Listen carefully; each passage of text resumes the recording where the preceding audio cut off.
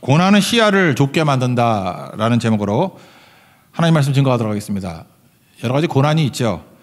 근데 고난의 나쁜 점 중에 하나는 시야를 좁게 만든다라는 것입니다.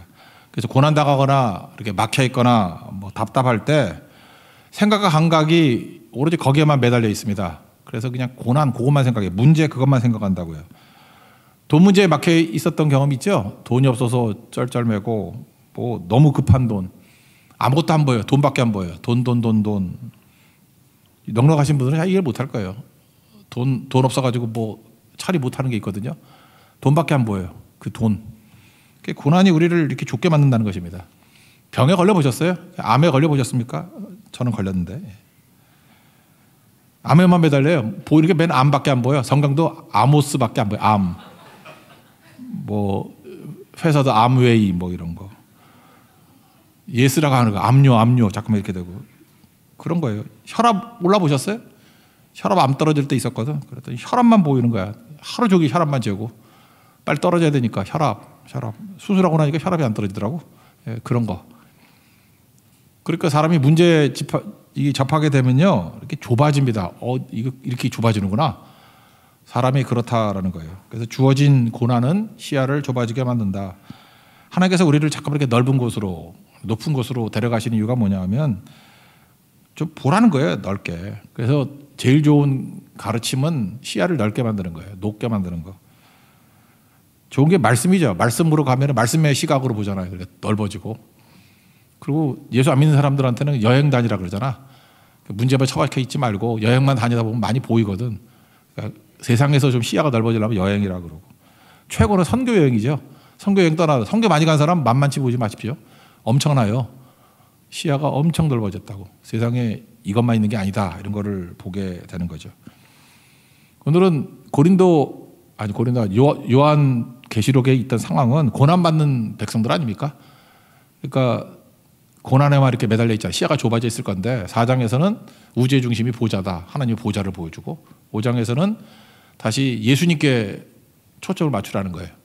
보좌를 봐라, 예수님을 봐라.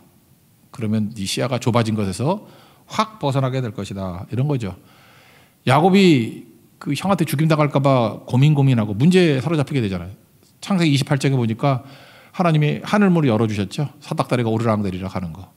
거기서 풀리잖아요. 우리에게 주신 복이 뭔지 알아요? 이렇게 문제에 매달리지 말고 보좌를 바라봐라. 예수님 바라봐라. 열린 하늘을 바라봐라. 뭐 그런 거죠. 요셉도 얼마나 문제가 많았습니까? 근데 그가 깨지지 않았던 이유가 뭐예요? 하나님께서 보여주셨잖아요. 해와 달과 열한 별이 절하는 거. 하늘 보는 거죠. 하늘의 말씀. 그러니까 좁아지지 않죠. 그게 중요하다는 것입니다. 오늘 처음 나오는 얘기가 이거예요. 이렇게 좁아지게 되었을 때, 고난 가운데 있게 될 때, 우리는 내 힘에 집중하게 된다는 것입니다. 그래서 힘으로 이렇게 닫힌 거를 열라 그래요. 근데 힘으로 못 연다. 이거 빨리 깨달으라는 거예요. 그래서 힘이 있으면 한번 써보십시오. 젊었을 때, 20대 때, 나름대로 힘이 있잖아요. 한번 써보라고. 그래서 빨리빨리 부딪히는 게 좋아요. 써보면 안 된다는 거 알거든요. 힘으로 되나. 닫혀 있다는 것을 상징하는 것이 그 옛날이니까 이렇게 썼죠. 두루마리, 이렇게 뚫뚫 마른 책에 인봉을 붙였거든. 그 뛰면 될 거 아니냐 그러는데 뛰면은 그게 법적인 효력이 있기 때문에 함부로 뛰면 황제인이 있다 그러면 죽고 막 그랬어요. 그 옛날에 진짜 쫄 쫄만한 일이라고. 그러니까 지금은 이해가 잘 안 되지. 그거 뭐확 뜯어버리면 되지. 뭐그 인봉이 뭐 대단한 거야. 지금이라면 뭐라 그럴까? 엄청난 자물쇠. 뭐 자물쇠 그 일곱 개가 자물쇠로 잠겨져 있어. 근데 그거 열쇠가 없거나 번호를 몰라 못 풀어. 내가 열쇠 그 여는 사람도 아니야. 그 답답한 거죠. 문이라고 합시다. 닫혀 있는 거예요. 그게 인봉이거든. 그러니까 우리 식으로 얘기하면 뭐 문이 닫혀 있어요. 닫혀 있는 게 한 일곱 개쯤 있다고 합시다. 이거 어떻게 여나? 힘, 힘으로 안 된다는 거예요. 문을 어떻게 힘으로 엽니까? 자물쇠 어떻게 힘으로 잡았던 게 우리가 뭐 헐크예요? 그걸 어떻게 뜯어? 힘으로 백날 해보라고 안 된다라는 거예요. 우리의 닫혀 있는 문제가 뭡니까? 근원적으로는 죄의 문제, 죽음의 문제, 천국 가는 문제, 우리 삶의 문제 다 닫혀 있다고. 닫혀 있는 거 본능적으로는 힘으로 하려 그래요. 그래서 여기 나오는 게 힘 있는 천사거든. 힘 있는 천사가 인봉을 열어요, 못 열어요? 못 연다고. 그래서 누가 열고 그랬다고. 그랬더니 안 되니까 울었어. 울어도 안 돼. 우리 찬송가 뭐 그런 거 있는데 뭐 울어도 안 되네, 뭐 힘써도 안 되네. 544장인가? 아, 우리 그 찬양 불렀어야 되는데. 울어도 안 되네. 힘써도 안 되네. 먼지대도 안 되네. 그게 여기서 나온 거거든. 안 된다니까 해보라고. 그러니까 빨리 해봐야 돼요. 544장. 울어도 안 돼요. 1절부터 4절까지 한번 읽어봅시다. 시작. 내가 보매 보좌에 앉으신 이의 오른손에 두루마리가 있으니 안팎으로 썼고 일곱 인으로 봉하였더라. 또 보매 힘 있는 천사가 큰 음성으로 외치기를 누가 그 두루마리를 펴며 그 인을 떼기 합당하냐 하나 하늘에나 땅에나 땅 아래 능히 그 두루마리를 펴거나 보거나 할 자가 없더라. 그 두루마리를 펴거나 보거나 하기에 합당한 자가 보이지 아니하기로 내가 크게 울었더니 힘으로도 안 되고 울어도 안 되고 나오잖아요. 그죠? 힘으로 안 돼, 울어도 안 돼, 뭐 애써도 안 되고 근데 믿으면 된다. 뭐 그게 찬송 4절이 그랬던 것 같은데 믿으면 된다고. 안 된다고요. 하나님께서 우리에게 이렇게 한계 한계 가운데 이끌어 가신 이유가 뭐냐면 한계를 통해서 레슨 주시는 거예요. 교훈을 주시는 거예요. 우리 젊었을 때 이렇게 해 보면요. 20대 때 안 되는 게 많을 걸. 뭐 되게 많을 거예요. 그래서 어떻게도 안 되는 거야. 뭘 해도 안 되는 거야. 그래서 인간적인 방법 다 동원해도 안 되고 생각을 다 동원해도 안 되고 안 풀려요. 발버둥 쳐도 안 되고 애써도 안 되고 그래서 한계에 다다랐을 때 새로운 영적인 세계로 우리를 이끌어 가시는 거라고. 그래서 인간적인 방법 버리라는 거예요. 인간적인 방법으로 안 된다는 거 빨리 깨달아라. 그러고 난 다음에 해야 될 일이 뭐냐면 주변 정리를 좀 해야 돼. 안 될 때는 물론 하나님께 곧장 가는 것도 제일 빠른 방법인데 혹시 그게 안 된다면 빨리 주변 정리부터 한번 해보십시오. 왜 안 되느냐 하면은 우리를 안 되게 만드는 주변 사람이 있기 때문에 그래. 여러분 생각보다 사람이 도움도 되지만 방해가 되는 거 아시죠? 주변 사람들이 딱 내 수준이거든. 그 주변 사람들과 맨날 교제하니까 자아가 강화되는 거야. 맨날 보고 듣고 느끼는 것이 주변 사람과 비슷해. 근데 그 사람이 나야. 그래서 하나님 말씀으로 좀 돌아가려 그러다가 또 주변 사람 만나면 또 똑같아지고 똑같아지고. 그래서 그 사람이 안주하는 모습을 보고 나도 안주해도 될 것 같이 보여요. 그래서 그 사람 주변 사람부터 정리해야 돼. 그러니까 좀 외로워져야 돼요. 이게 사람이 변화가 되려 그러면 어느 순간이니까 외로워져야 돼. 여러분이 한 단계 업그레이드 되려 그러면 지금 내 주변에 있는 친구들이 상태가 안 좋아.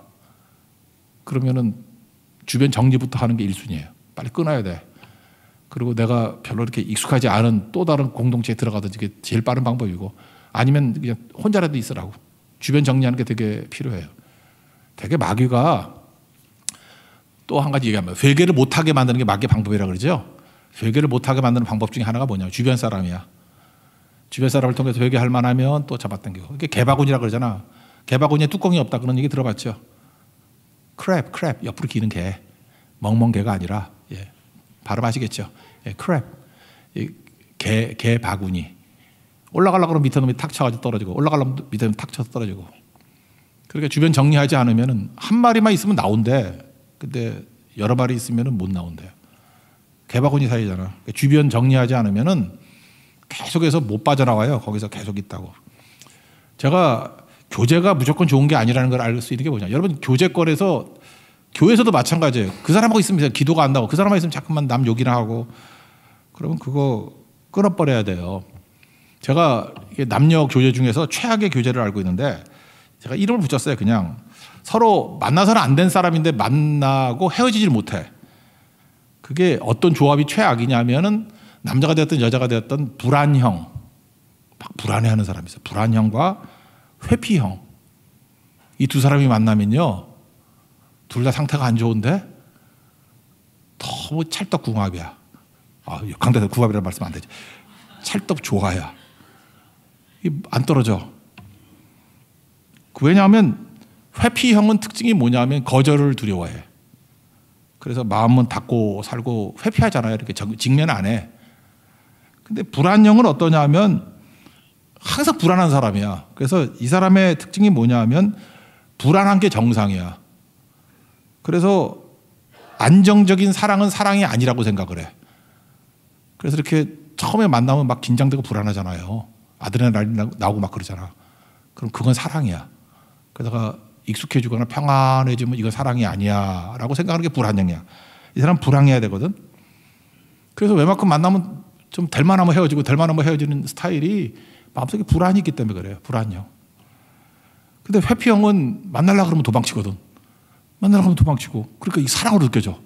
이건 진짜야. 그리고 회피형은 맨날 회피하는데 그래도 은근히 따라와 주기를 원하거든. 근데 이 불안형이 맨날 따라와. 그래서 못 헤어져. 내가 이제까지 만났던 그 늪형의 만남이 이런 거야. 둘 다 망하는 건데 그래서 여러분 주변에 혹시 불안형과 회평이 만났다 그러면 절대 안 헤어져. 계속 징징대면서 계속 사겨. 그리고 결혼도 안 하고 계속 그러고 살아. 그러니까 교제 한 10년 하는 애들 있잖아요. 다 불안형과 회평이야. 믿어도 돼. 내가 젊은이 볼게 엄청 많이 했어. 이런 애들 내가 많이 봤거든요. 이게 불안형과 회평. 1차적으로 해야 될 일이 뭐냐 하면 어떻게든 떨어져야 돼. 떨어지지 않으면 안 되거든. 이거 부모 자식 간의 관계도 있어요. 엄마가 불안형이야. 근데 딸이 회평이야. 그러면 그 집안은 엄마하고 딸하고 붙어가지고 이게 나쁜 영향을 주고받아요. 그리고 헤어지지도 못해. 그리고 둘이 살아간대 맨날. 사랑은 좋아하고 있네. 그러니까 빨리 헤어져야 돼. 헤어지고 빨리 끌고 나서 새벽에도나 철학에도 들고 나와야 돼. 그둘다 들고 나면 안 돼. 하나만 하나씩만. 그래야 그게 깨져요. 그 엄마하고 딸하고 얼마나 그 나쁜 영향 미치는 집이 많은지 알아요? 둘 다 망하는 거지.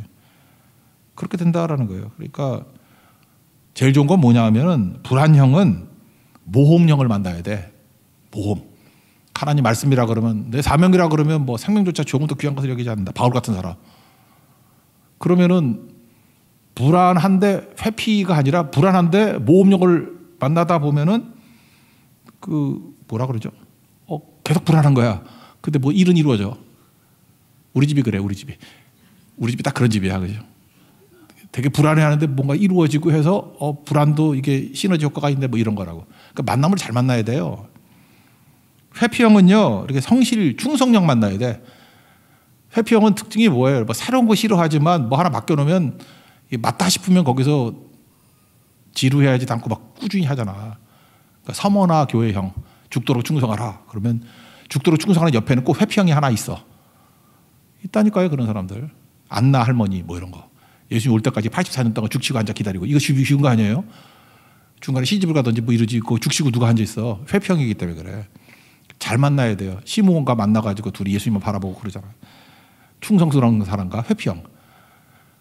이거 계속 하려면 끝이 없는데 그만할게. 예. 내가 아예 젊은이만 다 모였다 그러면 뭐 이런 유형 나눠가지고 쭉 갈 수도 있는데 하여튼 이런 게 있다고요. 그러니까 중요한 게 뭐예요? 이렇게 만나서 시너지도 있지만 헤어져야 될 것도 있다고. 그래서 여러분들 인생 살다 보면 막히고 힘들고 뭐가 안 되고 이러면 멈추든지 아니면 헤어지든지 뭐 하여튼 거기 답 없다는 거 빨리빨리 깨달아야 돼요. 그죠? 이게 망해야 돼. 뭐가 망해야 새롭게 시작되지. 그 과정이 있을 거라고요. 그래서 여러분들 좀 빨리 헤어지십시오. 어떤 때는 끊어버리고 그럴 필요성도 있다고. 그럼 두 번째 단계 뭐예요? 우리 시야가 고난 때문에 매어 있어가지고 좁아지는데 예수님 바라보면 되죠. 예수님. 그죠? 예수님은 여시는 분이니까 막혀 있을 때 예수님께 확 나가면 비약적인 도약이 일어나요. 예수님은 여시는 분이라니까요. 인을 떼실 수 있는 분이라니까요. 누가 뗄까 울고 있었더니 내가 떼야지 그런 거라고요. 예수님 소개를 이렇게 하죠. 유다 지파의 사자다, 라이언, 강한 자다. 근데 그 이중적이죠. 근데 일찍 죽임을 당한 어린 양 같대. 어린 양은 약하지만 일찍 죽임 당한 대속의 피를 다 흘리신 거죠. 그 예수님은 어린 양 이미지와 사자 이미지가 다 있다고. 십자가로 승리하시고 난 다음에 예수님의 이미지는 어린 양 아니에요. 이젠 사자라고. 근데 재밌는 게 다윗의 후손이라고 하는데 여기서 뭐라고 돼요? 다윗의 뿌리라고. 이걸 골로새서에서 나오는 얘기지만 예수님의 선제설, 태초부터 예수님이 계셨다 그런 얘기죠. 그래서 예수님이 그러잖아. 뭐 아브라함 있기 전에 내가 있었다. 뭐 이런 거. 예수님 좀 늙어 보이는가 봐. 그래서 50도 안 된 사람이 뭐 아브라함이 뭐 있을 때 내가 봤다 그러냐? 예수님 선제설 그런 거 나오죠. 예수님은 태초부터 삼일체 하나님으로 계셨다. 예, 그런 의미. 그래서 여기서만 나오는 독특한 표현이에요. 다윗의 뿌리. 다윗의 후손이 아니라 다윗보다 앞섰다. 뿌리. 또 신학적으로 또 관심 있으면 나중에 보십시오. 예수님의 선제설, 선제, 선제하시는 능력. 골로새서 굉장히 강조하는 내용들이에요. 신학에서도 중요한 건데. 그래서 그분이 열었다는 거예요, 그죠? 그 예수님은 여신다. 여러 삶의 문제 예수님께 나가면 열립니다. 보입니다. 비약적으로 이게 중요한 거예요. 내 삶에 20대 때 이거 깨달아야 돼요. 내가 다 막힐 때 왜 막히게 만드느냐? 빨리 예수님께 가라고. 예수님께 가면 열려요. 이게 창세기 28장의 야곱의 경험이고 이게 요셉의 경험이고 그런 거라고. 하늘이 열리는 거예요. 그러면 해결된다. 5절부터 7절까지 읽겠습니다. 시작. 장로 중에 한 사람이 내게 말하되 울지 말라. 유다 지파의 사자 다윗의 뿌리가 이겼으니 그 두루마리와 일곱 이를 떼시리라 하더라.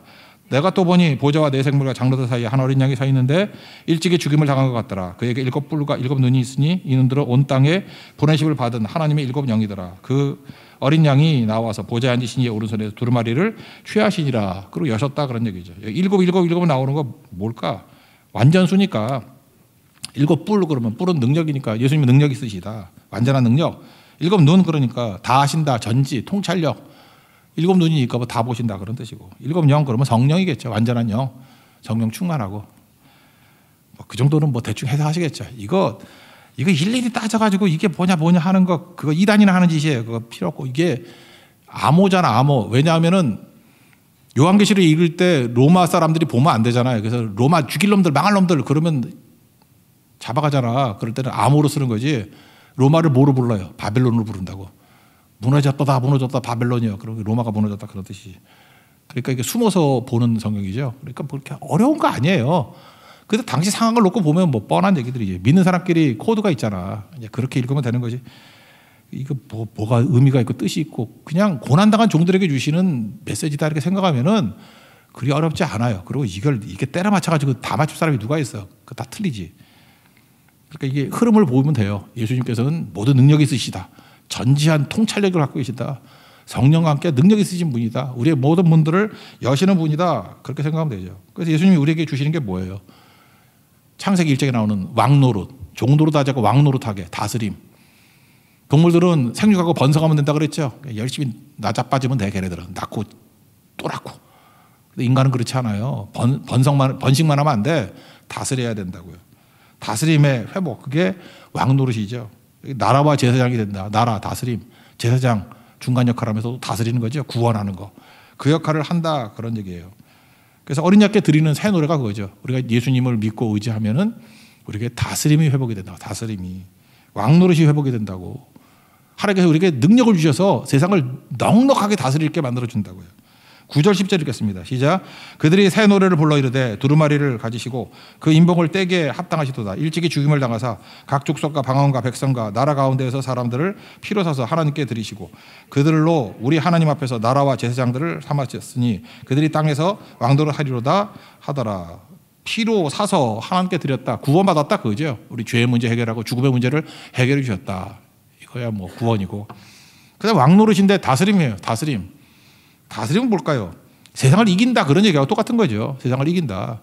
여러분 이 땅을 살아갈 때 예수님 믿고 의지하면 주님께서 우리에게 다스리는 능력과 함께 힘도 주신다니까요. 그래서 넉넉히 세상을 다스리고 이길 수 있어요. 그걸 이제 은혜라 그러죠. 은혜. 값없이 주시는 능력. 그 은혜잖아요. 은혜. 그래서 우리 교회에서 예수 믿을 크리스찬들은 다 은혜가 충만해야 돼. 우리 믿음의 젊은이들 하나님의 한량 없는 막 흘러넘치는 충만한 은혜를 받아야 된다고. 그래 세상을 이기지. 이런 거 있잖아요. 누가 와가지고 맨날 그래. 목사님, 내가 예수 믿었더니 아, 사는 게 너무 힘들어요. 아, 뭐 힘들다가 그러지 마. 하나님께 능력받아서 이겨야지. 뭐 맨날 힘들다 그러면 내가 뭐 하나님이야. 나한테 힘들어가면 어떡해. 잠깐만 뒤통수를 친대 누가. 뒤통수를. 그래도 뒤통수 치는 게 낫지. 앞통수를 쳐봐. 그거 더 힘들지.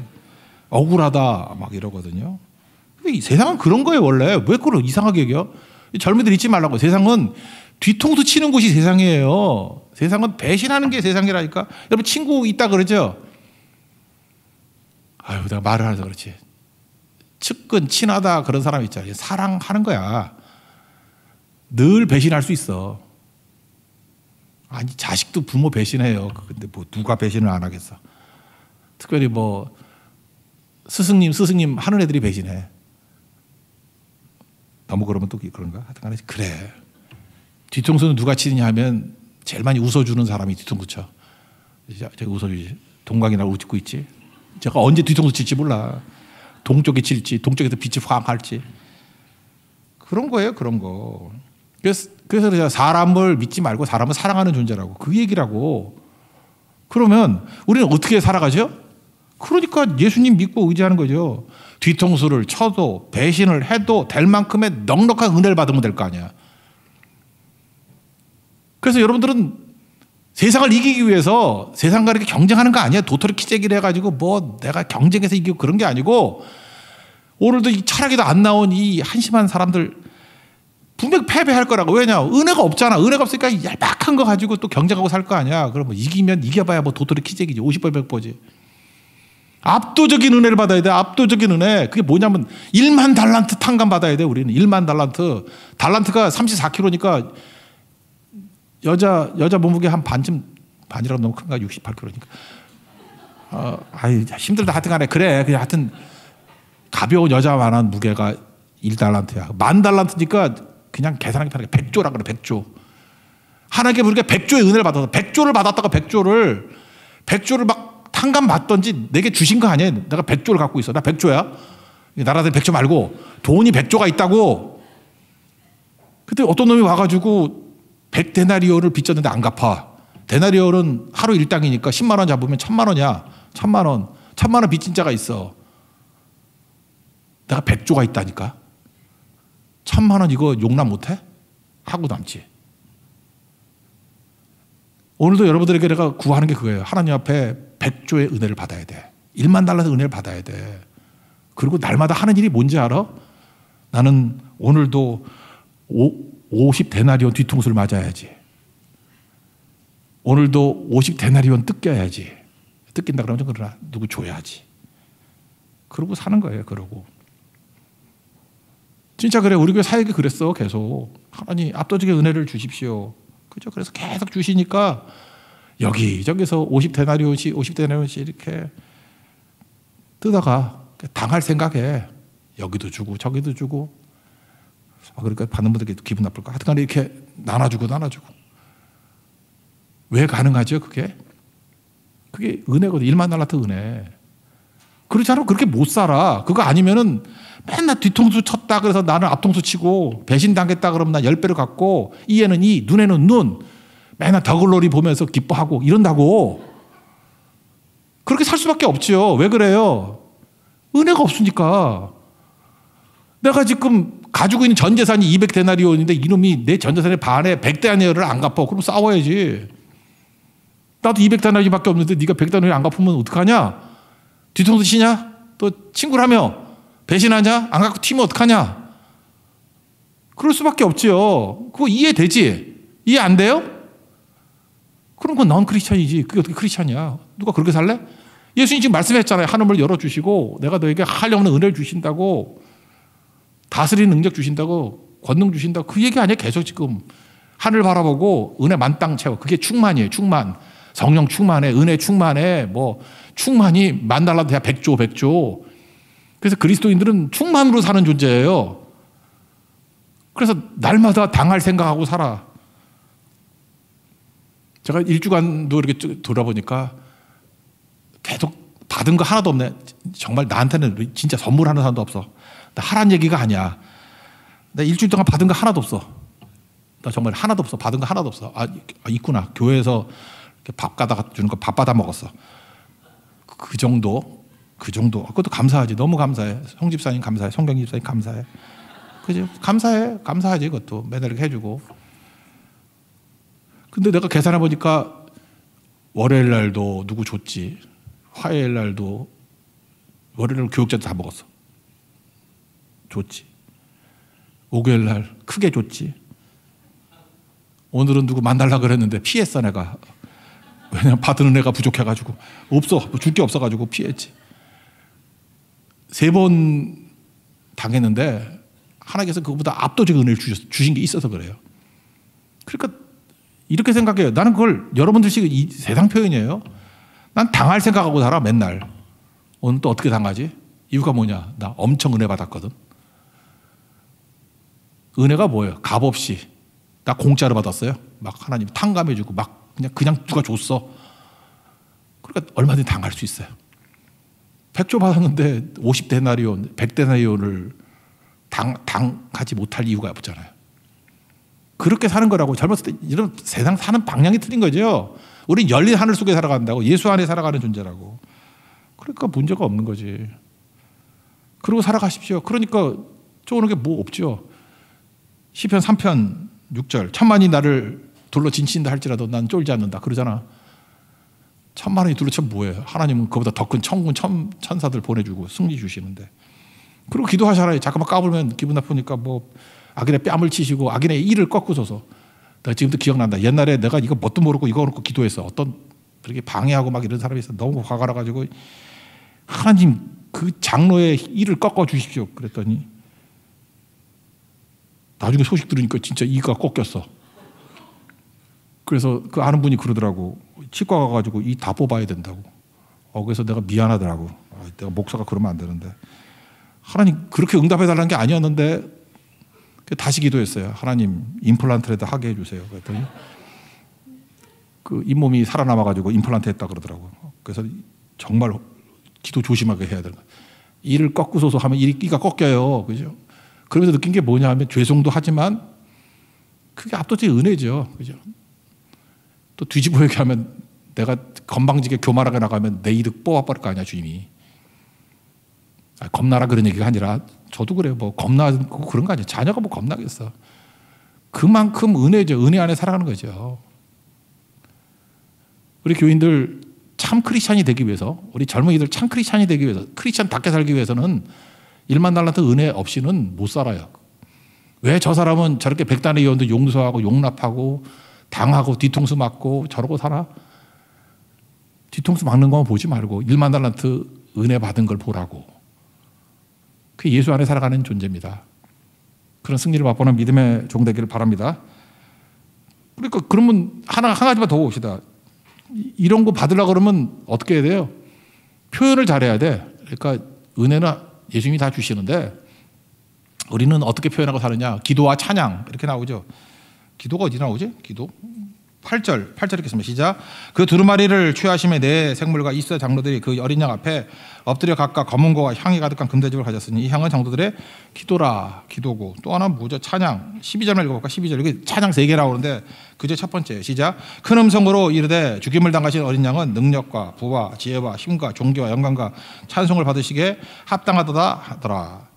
제가 오늘 아침 새벽 기도 때 그런 말씀 드렸죠. 하나님 사는 것과 그 남자 칭찬하는 게 비슷하고 여자분들 제가 노하우를 좀 가르쳐 주잖아요. 남자 칭찬하는 게 입으로 너 잘했어. 그것만 칭찬이 아니고 두 가지가 있다 그랬잖아요. 물어보는 거. 남자들에게 물어보면은 아는 거 물어보면 남자들이 되게 기뻐해. 제가 오늘 아침에 얘기했잖아요. 어떤 그 성도가 그렇게 얘기를 쭉 나누다가 공양미 상백석이 얼마인지 몰라가지고 설명해 줬다고. 상백석이 300 가마니가 아니고 그게 10kg에 4만 원씩 시면 한 1억, 1억 7천 정도 되고 옛날에는 쌀이 더 귀했잖아 지금보다. 그래서 한 가정이 평생 먹고 살 액수래. 그러니까 그렇게 친다 그러면은 한 18억쯤 된다고. 그러니까 심청이가 인당수에 빠져가지고 18억쯤 받은 거라고. 큰 돈이죠. 그죠? 그렇게 설명해 줬더니 이 성도님이 어떻게 기뻤는가 봐. 어, 원래 깡통이었는데 뭐가 채워지니까 기뻤는가 봐. 카톡 프로필에 공양이 상백서 이렇게 써놨더라고. 내가 너무 기뻐서 전 남자야.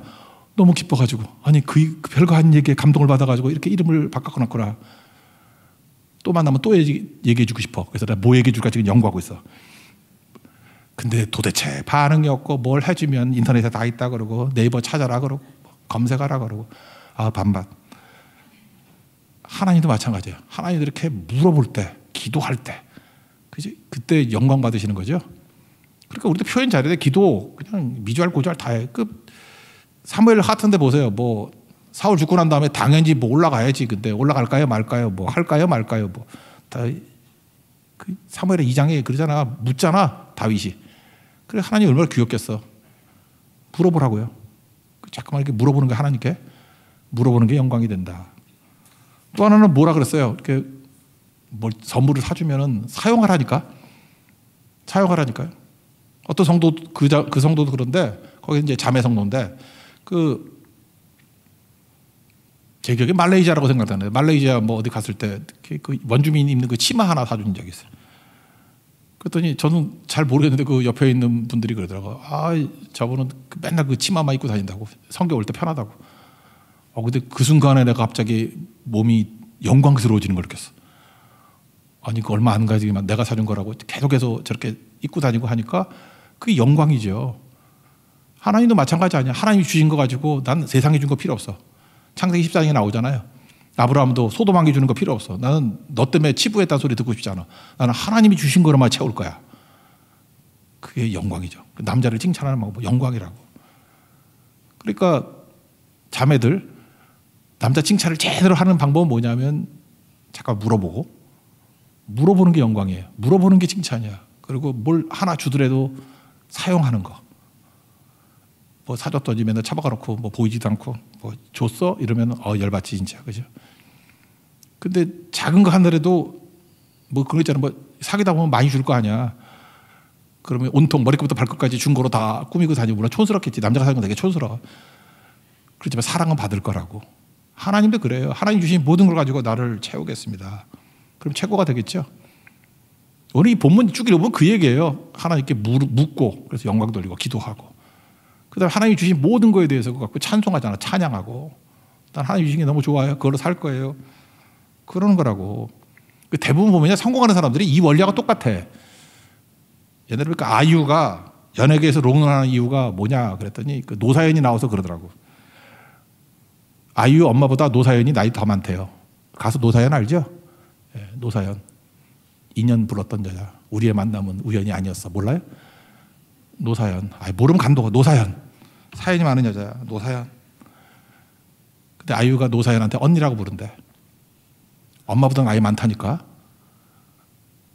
아줌마 그렇게 안 부르고 언니. 그 노사연이 그래. 사랑하지 않을 수가 없대. 아이유가 나를 언니라고 부른대. 사연이 언니 이상하네. 노사연 언니. 그러면서 이렇게 연예계에 오래 있을 아이다. 그래서 노사연이 이렇게 설명해요. 자기는 탁 보면 안 돼. 탁 보면은 자기는 매 눈을 가지고 있대. 연예계에 오래 있을 아이와 빨리 없어질 아이를 금방 한대. 표현하는 거예요.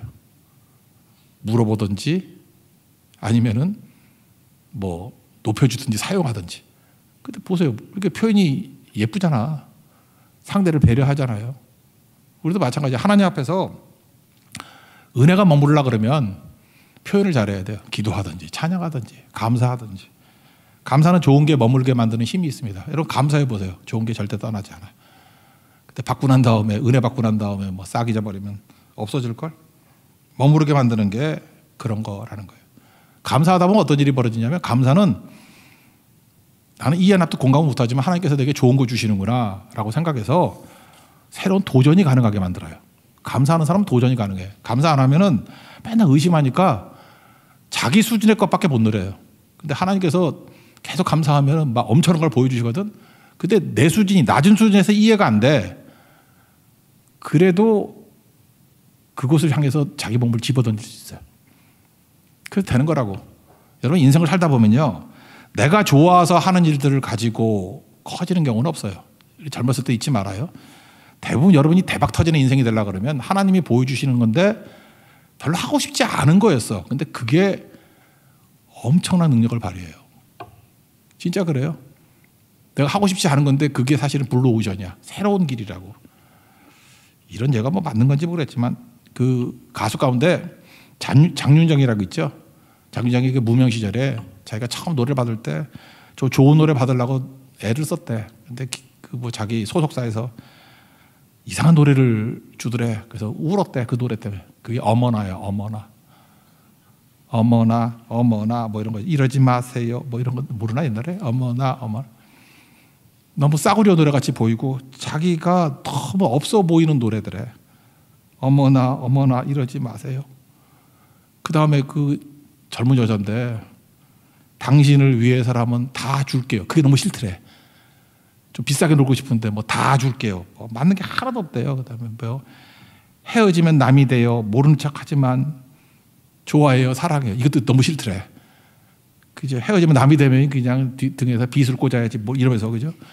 더글로리 영성이 있었는데 뭐 좋아해요, 사랑해요. 뭐 이런 그 차량한 처절한 여자 같은 모습.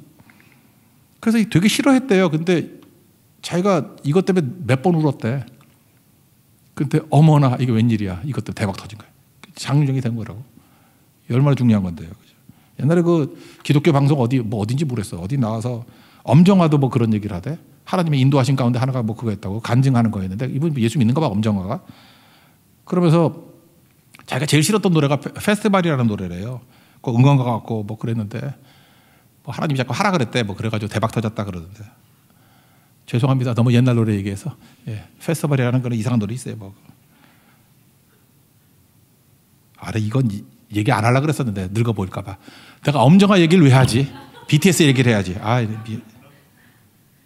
그래요. 하여튼 그래. 하나님께서 우리에게 주신 것들 잘 기도하고, 아, 물어보고, 찬양하고, 사용하고. 그러면 여러분들 예수님이 내가 상상도 못하는 세계로 우리를 이끌어 가신다고요. 누구에게? 순종할 때. 그 승리, 성결하면 작은 승리 주시고, 순종하면 대박 터져요. 젊었을 때는 순종을 통해서 이런 대박 터지는 일들이 벌어져야 되겠죠? 오늘 5장에서 이 말씀을 꼭 깨달았으면 좋겠어요.